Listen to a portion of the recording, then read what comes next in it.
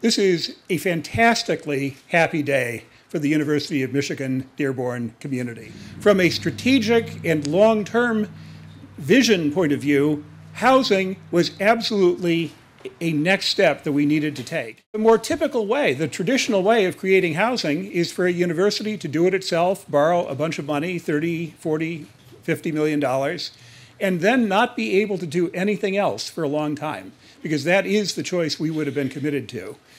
We chose instead to work in a private public collaboration, team, even partnership to help bring this vision to fruition, a residential option for UM Dearborn students.